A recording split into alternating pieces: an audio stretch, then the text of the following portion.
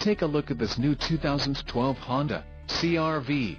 For your protection, this vehicle has a full factory warranty. This vehicle gets an estimated 22 miles per gallon in the city, and an estimated 30 on the highway.